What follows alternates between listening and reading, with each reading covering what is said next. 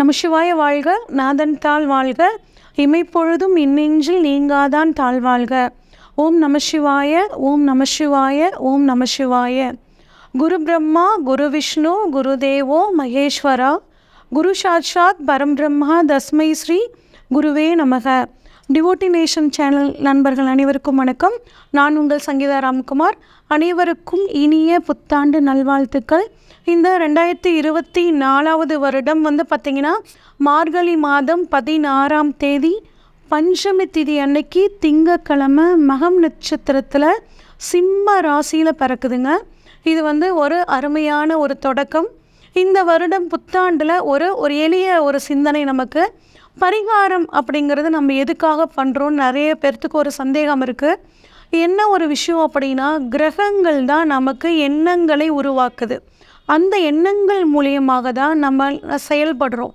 இப்போ நம்ம நம்ம நல்லா இருக்கணும் அப்படின்னா நம்மக்கிட்ட இருக்கக்கூடிய கெட்ட எண்ணங்களை உதிர்த்துட்டு நல்ல எண்ணங்களை உருவாக்கணும். இதை எப்படிங்க நம்மளால் உருவாக்க முடியும்? அப்படின்னு சொல்லி பார்த்தோம்னா நம்மளோட மனசு முழுமையாக ஒருநிலைப்படும் போது புதிய எண்ணங்கள் ஒரு சூப்பரான எண்ணங்கள் வரும். இதை வந்து எப்படி நம்ம ஒருமுகப்படுத்தலாம்னா தியானம் மூலியமாக ஒருமுகப்படுத்தலாம். தியானம் அப்படிங்கிறது எல்லாத்துக்குமே சாத்தியம் கிடையாது. அதனால தான் நம்மளோட எண்ணங்களை ஒருமுகப்படுத்த நம்ம பரிகாரங்கள் நம்ம செய்கிறோம் என்ன பரிகாரங்கள்? கோயில் பரிகாரம் தர்ம பரிகாரம்னு சொல்கிறோம் கோயிலில் போயிட்டு கடவுளை நம்ம கும்பிடும்போது அந்த ஒரு நிமிஷம் நம்மளோட எண்ணங்கள் வந்து பார்த்திங்கன்னா சரியாகி ஒருமுகப்படுது இதன் மூலியமாக நம்ம செயல்கள் சூப்பராக நடக்கும். அது மட்டும் இல்லாமல் நம்ம அடுத்தவங்களுக்கு தானம் பண்ணிவிட்டு அவங்களோட முகத்தில் இருக்க சந்தோஷத்தை பார்க்கும்போது ஒரு நிமிஷம் நம்மளோட எண்ணங்கள் வந்து பார்த்திங்கன்னா ஒருமுகப்படும். இதன் மூலியமாகவும் நம்மளோட எண்ணங்களை ஒருமுகப்படுத்தி அதை வந்து செயல்களாக மாற்றி நம்ம வாழ்க்கையில் வெற்றி அடையிறதுக்காக தான் நம்ம பரிகாரம் பண்ணுறோங்க இப்போ நம்ம வந்துட்டு ஒவ்வொரு ராசிக்கும் இந்த புத்தாண்டு பலன்கள் எப்படி இருக்குன்னு சொல்லி வரிசையாக பார்க்கலாம். சிம்ம ராசிக்காரங்களுக்கு இந்த ரெண்டாயிரத்தி இருபத்தி நாலு புத்தாண்டு பலன்கள் எப்படி இருக்குன்னு சொல்லி பார்ப்போம். சிம்ம ராசி அதிபதி யார் அப்படின்னு சொல்லி பார்த்தோம்னா சூரிய பகவான். இந்த சிம்ம ராசியில் மகம் நட்சத்திரத்தோட ஒன்று ரெண்டு மூன்று நான்கு பாதங்கள். பூரம் நட்சத்திரத்தோட ஒன்று ரெண்டு மூன்று நான்கு பாதங்கள். உத்திரம் நட்சத்திரத்தோட முதல் பாதமாக மொத்தம் ஒன்பது பாதங்கள் இந்த சிம்ம ராசியில் இருக்குது இந்த சிம்ம ராசிக்காரங்க எப்படி இருப்பாங்க அப்படின்னா அன்பும் பண்பு மரியாதை கொண்டவங்களாங்க இருப்பாங்க. இவங்களும் அடுத்தவங்களுக்கு மரியாதை கொடுப்பாங்க. அதே மாதிரி மரியாதையை எதிர்பார்ப்பாங்க. சுய கௌரவம் அதுக்கு ஒரு இழுக்கு வந்துருச்சு அப்படின்னா திரும்ப அந்த இடத்துக்கு அவங்க போகவே மாட்டாங்க. அஞ்சா நெஞ்சம் கொண்டவங்களாக இருப்பாங்க. இவங்க பேச்சில் எப்பயுமே ஒரு தெளிவு இருக்கும். கோபத்தில் கூட இவங்க வந்து பார்த்திங்கன்னா நிதானமாக இருப்பாங்க. சொன்ன சொல்ல காப்பாற்றணும் அப்படின்னு நினைப்பாங்க. அதே மாதிரி அடுத்தவங்களும் அதே மாதிரி சொல்ல சொல்ல காப்பாற்றணும் அப்படின்னு நினைப்பாங்க. இதனால சில சில சிக்கல்களை சந்திப்பாங்க. ராஜபோகத்தோடு இருக்கக்கூடிய ஒரு அமைப்பு இவங்களுக்கு கிடைக்கும். ரொம்ப மிகச்சிறப்பான ஒரு மனிதராக வந்து பார்த்திங்கன்னா இந்த சிம்மராசிக்காரங்க இருப்பாங்க. இவ்வளவு சிறப்பான இந்த சிம்மராசிக்கு இந்த ரெண்டாயிரத்தி இருபத்தி நாலு எப்படி இருக்கும் அப்படின்னு சொல்லி பார்ப்போம். இதில் வந்து கிரக அமைப்பு வருட கொள்கையோட அமைப்பு எப்படி இருக்கும் அப்படின்னா குரு உங்கள் ராசிக்கு ஒன்பதாம் இடத்துல இருக்கார். ஒன்பதாம் இடத்துல இருந்து ஒன்றாம் இடம் மூன்றாம் இடம் அஞ்சாம் இடம். இந்த இடத்தையெல்லாம் வந்து பார்க்குறாரு. சனி உங்களுக்கு எங்கே இருக்கார் அப்படின்னா ஏழாம் இடமான கும்பத்தில் இருக்கார். அங்கேருந்து ஒன்பதாம் இடம் ஒன்றாம் இடம் நான்காம் இடத்த பார்க்க போகிறார் அடுத்து ராகு எங்கே இருக்கார்? ராகு எட்டில் இருக்கார். கேது வந்து பார்த்திங்கன்னா இரண்டாம் இடத்துல இருக்கார். இப்போ இவங்களாம் தான் உங்களோட இந்த வருஷத்தை அதிகமாக ஆளுமை பண்ணக்கூடியவங்களாக இருக்காங்க. குரு வந்துட்டு ஒன்பதாம் இடத்துல இருக்கிறது ரொம்ப நல்ல விஷயம். ஒன்பதாம் இடம் அப்படிங்கிறது பாக்கியஸ்தானம் அப்போ உங்களோட பாக்கியங்கள் எல்லாம் இப்போ வேலை செய்ய போகுது. போன ஜென்மத்தில் பண்ணக்கூடிய புண்ணியங்களுக்கான பலன்கள் இந்த வருடம் உங்களுக்கு குரு ஒன்பதாம் இடத்துல இருக்கிறனால கோச்சார் ரீதியாக இருக்கிறனால கிடைக்க போகுது. ஒன்பதாம் இடத்துலேருந்து அவர் எங்கே பார்க்குறார் அப்படின்னா உங்கள் ராசியவே பார்க்குறார் அப்போ உங்களுக்கு தைரியம் தன்னம்பிக்கை ஒரு ஆளுமை திறன் எல்லாமே அதிகரிக்கும். ஆனால் ஒரு சின்ன ட்விஸ்ட் அங்கே என்ன அப்படின்னா சனியும் சேர்ந்து ஒன்றாம் இடத்த பார்க்குறாரு அப்போ நீங்கள் கொஞ்சம் லேசியாக இருப்பீங்க கொஞ்சம் சோம்பேறித்தனம் வரும். அந்த சோம்பேறித்தனத்தை மட்டும் நீங்கள் ஒதுக்கி வச்சிட்டிங்க அப்படின்னா உங்களோட தைரியம் தன்னம்பிக்கை ஆளுமை திறன் நீங்கள் சொல்லக்கூடிய விஷயங்கள் அடுத்தவங்க கேட்கக்கூடிய ஒரு அமைப்பு எல்லாமே உங்களுக்கு சூப்பராக இருக்கும். அதுக்காக நீங்கள் என்ன இருக்கணும்? சுறுசுறுப்பாக செயல்படணும். சோம்பேறித்தனத்தை ஒதுக்கி வச்சுட்டு சுறுசுறுப்பாக செயல்பட்டிங்கன்னா ரொம்ப சூப்பராக இருக்கும்.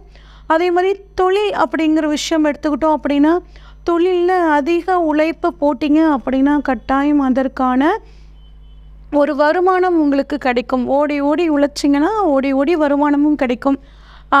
கேது வந்து பார்த்திங்கன்னா ரெண்டாம் இடத்துல இருக்காருங்க. அதனால் தேவையில்லாமல் யாருக்கும் அட்வைஸ் அப்படிங்கிற விஷயத்துக்குள்ளே போகாதீங்க.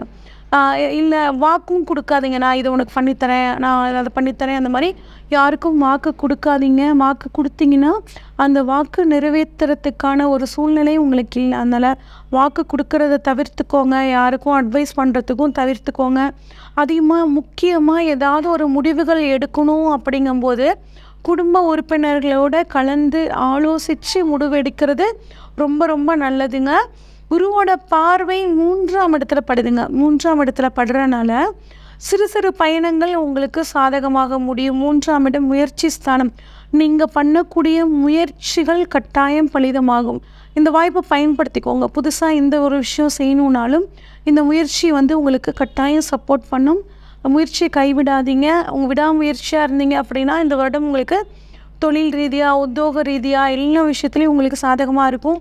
அது மட்டும் இல்லாமல் உங்கள் இளைய சகோதரருக்கு திருமணம் ஆகிறது இளைய சகோதரிகளுக்கு திருமணம் ஆகிறது இளைய சகோதரிகளுக்கும் உங்களுக்கும் ஏதாவது பிரச்சனைகள் சொத்து பிரச்சனை அந்த மாதிரிலாம் ஏதாவது இருந்துச்சுன்னா இப்போ உட்காந்து பேசுனீங்க அப்படின்னா சுமூகமாக முடியறதுக்கான ஒரு அமைப்புகள் எல்லாமே நல்லா இருக்கு. அடுத்து குருவோட பார்வை அஞ்சாம் இடத்துல படுது. அஞ்சாம் இடம் அப்படின்னா பூர்வ புண்ணிய ஸ்தானம்னு சொல்லுவோம். குலதெய்வத்துக்கான ஸ்தானம். குலதெய்வத்தோட அருளால் உங்களுக்கு எல்லா நல்ல விஷயங்களும் நடக்க போகுது. குழந்தை பாக்கியம் இல்லாதவர்களுக்கு குழந்தை பாக்கியம் கிடைக்கிறதுக்கான ஒரு நல்ல அமைப்பு. அது மட்டும் இல்லாமல் வந்து பார்த்திங்கன்னா காதல் அப்படிங்கிற விஷயம் கைகூடுற அமைப்பு. பெற்றோர்களோட ஆசிர்வாதத்தால் உங்களுக்கு திருமணம் செய்யக்கூடிய அமைப்பு எல்லாமே நல்லாயிருக்கு அது மட்டும் இல்லாமல் வெளிநாடுக்கு போய் படிக்கணும் அப்படின்னு ஆசைப்படக்கூடிய மாணவர்களுக்கு வெளிநாடு போகக்கூடிய ஒரு அமைப்பு. ராகு எட்டில் இருக்கார். அந்த ஒரு அமைப்பை கொடுப்பார். ஆனால் வண்டி வாகனத்தில் போகும்போது நார்மலாக இந்த சிம்மராசிக்காரங்க கொஞ்சம் கவனமாக போங்க. ரொம்ப அதாவது லாங் ட்ராவல்லாம் போகும்போது ஒரு டிரைவர் போட்டு போகிறது இன்னும் ரொம்ப நல்லது. அதே மாதிரி அஞ்சாம் இடத்துல சூரியன் செவ்வாய் இருக்கார். குருவோட பார்வைப்படுறதுனால என்ன ஆகுனா குழந்தைகளுக்கு சின்ன சின்ன பிரச்சனைகள் வரும். உடல் ஆரோக்கியத்தில் கவனமாக பார்த்துக்கோங்க ஆனால் அது பெரிய பிரச்சனையே ஆகாது. ஏன்னா குருவோட பார்வை வந்து அஞ்சாம் இடத்துல படுறனால அது சரியாக ஆயிரும் இருந்தாலும் குழந்தைகளோட படிப்புலையும் கொஞ்சம் அக்கறையாக வச்சுக்கோங்க. படிக்கக்கூடிய மாணவர்கள் படிப்பில் கவனம் செலுத்துங்க. படிச்சுட்டு வேலைக்காக காத்திருக்கிறவங்களுக்கு வேலை கிடைக்கக்கூடிய அமைப்பு. ஆனால் வேலையை வந்து விட்டு விடக்கூடாது. இருக்கிற வேலையை விட்டுட்டு நம்ம வேற வேலைக்கு போகலாம் அப்படின்னு யோசிக்கிறவங்க கொஞ்சம் யோசித்து உங்கள் சுய ஜாதகத்தை ஜோதிடத்தை கொடுத்து கலந்து ஆலோசித்து அதுக்கப்புறம் முடிவெடுங்க. அதே மாதிரி காதல் கைகூடும் காதல் திருமணம் நடக்கிறதுக்கான அமைப்பு இரண்டாம் திருமணத்துக்காக வெயிட் பண்ணிட்டு இருக்கவங்களுக்கு இரண்டாம் திருமணம் நடைபெறத்துக்கான அமைப்புகள் எல்லாமே நல்லா இருக்குது வீடு வண்டி வாகனம் இதெல்லாம் வாங்கக்கூடிய அமைப்பு உங்களுக்கு இருக்குது ஆனால் வந்து பார்த்திங்கன்னா டாக்குமெண்ட் எல்லாம் சரியாக இருக்கான்னு பார்த்துக்கோங்க ஒரு தடவைக்கு ரெண்டு தடவை எல்லாத்தையும் வெரிஃபை பண்ணிக்கோங்க. இந்த மாதிரி பண்ணும்போது கட்டாயம் உங்களுக்கு வீடு வண்டி வாகனங்கள் அமையக்கூடிய அமைப்பு உங்களுக்கு வந்து சூப்பராக இருக்குது உங்களுக்கான பரிகாரம் என்ன அப்படின்னு சொல்லி பார்த்தோம்னா குலதெய்வ வழிபாடு. குருவோட பார்வை அஞ்சாம் இடத்துல இருக்கிறனால குலதெய்வ வழிபாடு உங்களுக்கு எல்லா விதமான சந்தோஷத்தையும் கொடுக்கும்.